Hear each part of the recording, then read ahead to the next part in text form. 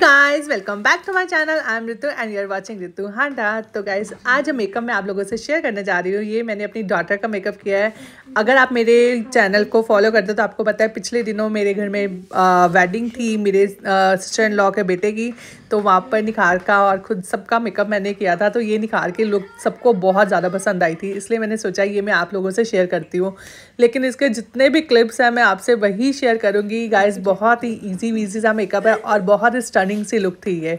तो सबसे पहले मैंने निखार के फेस को कर दिया, यहाँ पे मॉइस्चराइज़र अच्छी तरह से लगा दिया है और उसके बाद है हमारी लूमी क्रीम यहाँ पे मैं लगा रही हूँ लूमी क्रीम ये है लेकमी की लूमी क्रीम तो गाइज़ इससे क्या होगा? एक तो आपका फेस बहुत अच्छी तरह से मॉइस्चराइज हो जाएगा और दूसरा, एक ड्यूई सी शाइन आपके फेस पे आ जाएगी। तो मैंने निखार पर ये ही यूज़ किया क्योंकि मुझे एक ड्यूई सी शाइन भी इसके फेस पे चाहिए थी।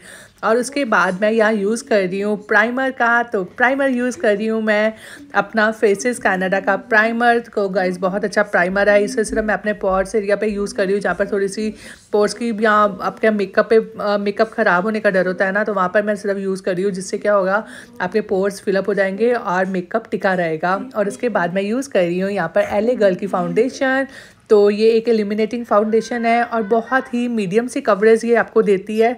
तो गाइज़ इससे एक ड्यूई सी शाइन भी आपके फेस में आती है। तो इसमें मेरा शेड है नेचुरल तो ये निखार के फेस के लिए परफेक्ट था। लेकिन मैं आ, मैं मेकअप करती जा रही थी लेकिन निखार का मुँह बंद नहीं हो रहा था। वो कुछ ना कुछ कुछ ना कुछ मम्मा ऐसे नहीं मम्मा ऐसे नहीं। वो कुछ ना कुछ बोलती ही जाती है जब मैं उसका मेकअप करती हूँ। और दूसरे जो क्लाइंट्स होते हैं ना जब उनका मेकअप होता है ना वो चुप करके आराम से अपना मेकअप करवाते हैं। लेकिन निखार वो चुप नहीं होती। उसको बहुत ज़्यादा वो डिमांडिंग है। तो गाइस फाउंडेशन को पूरी अच्छी तरह से ब्लेंड करना बहुत ज़्यादा ज़रूरी है। मैं एक वेट ब्लेंडर से बहुत अच्छी तरह से इसको ब्लेंड कर रही हूँ। तो गाइस जितना टाइम भी लगे ना, बहुत आराम से अपनी फाउंडेशन को ब्लेंड करो, क्योंकि जैसे आप अपनी फाउंडेशन को अच्छी तरह से ब्लेंड करोगे, उतना ही फ्लॉलेस आपका मेकअप होगा।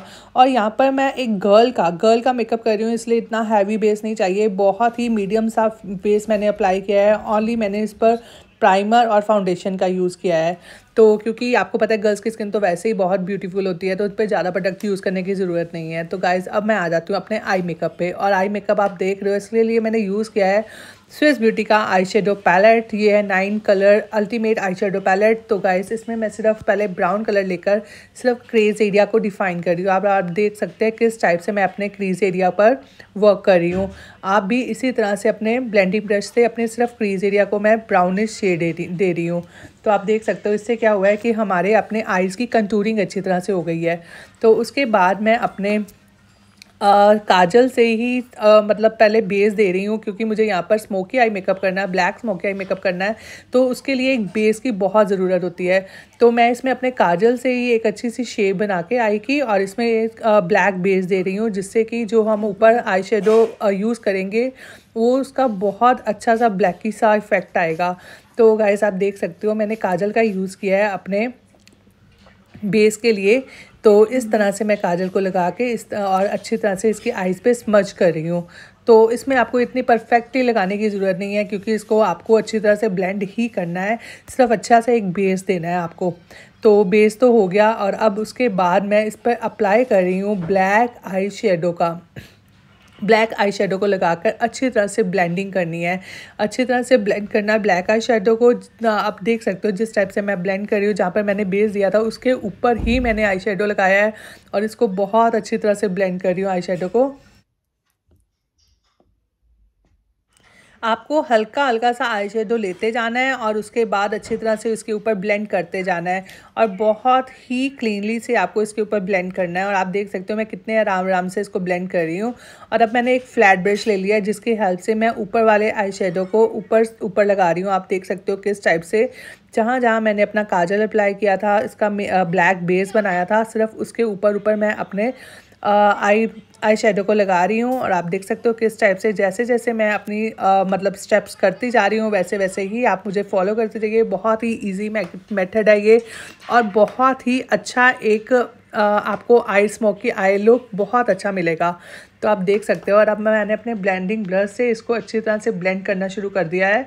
तो जितनी आप ब्लेंडिंग करेंगे उतना ही बढ़िया आपका मेकअप होगा। ये सिर्फ़ आपके फेस मेकअप के लिए नहीं ये आपके आई मेकअप के लिए भी चाहता है। आपको बहुत ज़्यादा ब्लेंडिंग की ज़रूरत होती है।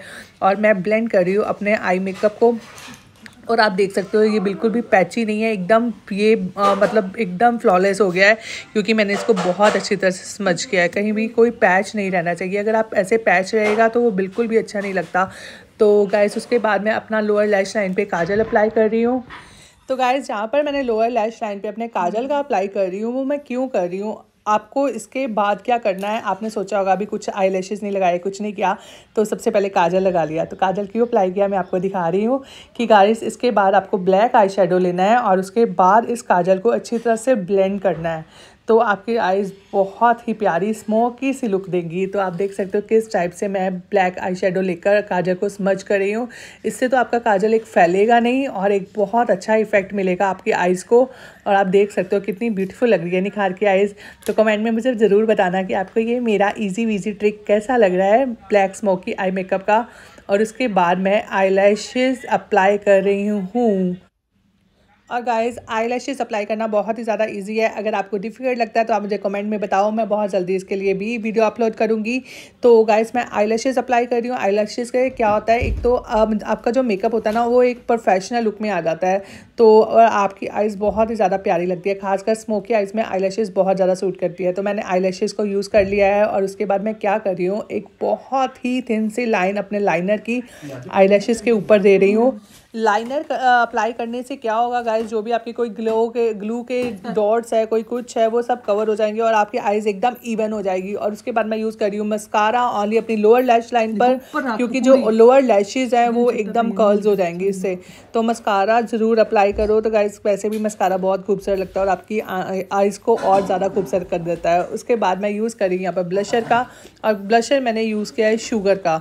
तो गाइस एक्चुअली उस दिन मैरिज थी और जल्दी जल्दी में मैं रेडी कर रही थी इसलिए मैंने कोई ज़्यादा प्रोडक्ट्स नहीं दिखाए। जो भी प्रोडक्ट्स मैंने यूज़ किए हैं वो डिस्क्रिप्शन बॉक्स में बता दूँगी आप वहाँ जाकर प्लीज़ चेक कर लेना।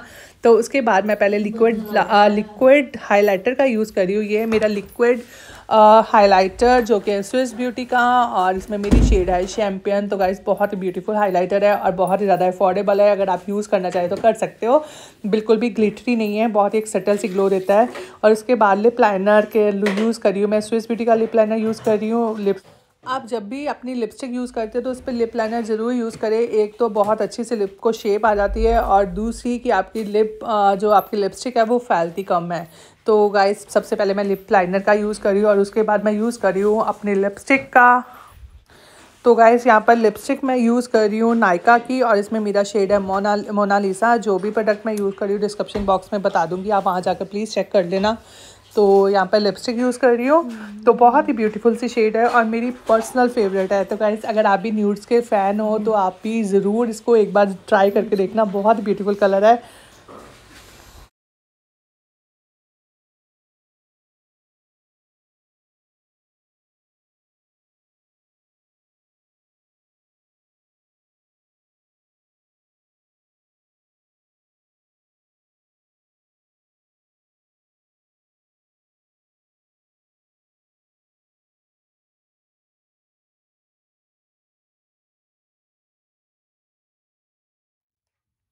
और लिपस्टिक तो हो गई डन और उसके बाद मैं यूज़ कर रही हूँ अपना वेट एंड वाइल्ड का हाइलाइटर तो गाइस बहुत ही ब्यूटीफुल हाइलाइटर तो है। तो ये है मेरा वेट एंड वाइल्ड का हाइलाइटर और उसके में मेरी शेड है प्रेशियस पेटल तो उसके बाद मैं यूज़ कर रही हूँ सेटिंग स्प्रे और सेटिंग स्प्रे है मेरा एन वाई एक्स का ड्यूई सेटिंग स्प्रे और गाइस इससे सेट इसको लगाने के बाद एकदम फेस सेट हो जाएगा और बहुत ही एक ड्यूई सी शाइन आ जाती है। इससे सेटिंग स्प्रे से अगर आप ड्यूई मेकअप के फ़ैन तो हो तो आपको तो एक बार ट्राई करना चाहिए। बहुत लॉन्ग लास्टिंग रहता है। आपका मेकअप को बहुत अच्छी तरह से मतलब आपके फेस पे टिका रहता है। तो गैस मैंने अपने फेस पे फेस मास्क लगा लिया था क्योंकि इसके बाद मैं रेडी होने वाली थी तो मैं टाइम वेस्ट बिल्कुल नहीं करना चाहती थी। और गैस जो भी एक्स्ट्रा जो मैंने सेटिंग स्प्रे किया उसके बाद मैंने उसको स्पज ब्यूटी ब्लेंडर से स्पज कर दिया। और ये है निखार की फुल लुक तो मेरे पास कोई वीडियो नहीं थी इसलिए मैंने निखार की अपने उसने जो अपने ब्लॉग में यूज़ किया वही मैंने यहाँ पर वीडियो अटैच कर दी। तो गाइस आप देख सकते हो, निखार की फुल लुक कितनी ब्यूटीफुल लग रही है निखार।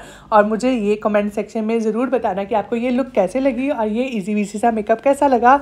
तो गर्ल्स के लिए ये मेकअप बहुत ही ज़्यादा ब्यूटीफुल है। तो इसका हेयर स्टाइल भी मैंने किया था बट मैं उसकी वीडियो शूट नहीं कर पाई। बहुत जल्दी आपसे शेयर करूँगी ये सब हेयर स्टाइल तो कैसा लगा आपको मेरा मेकअप अगर आपको पसंद आया तो वीडियो को लाइक करना चैनल को सब्सक्राइब करना बिल्कुल मत भूलना। और बाय गाइस मिलते हैं नेक्स्ट वीडियो में।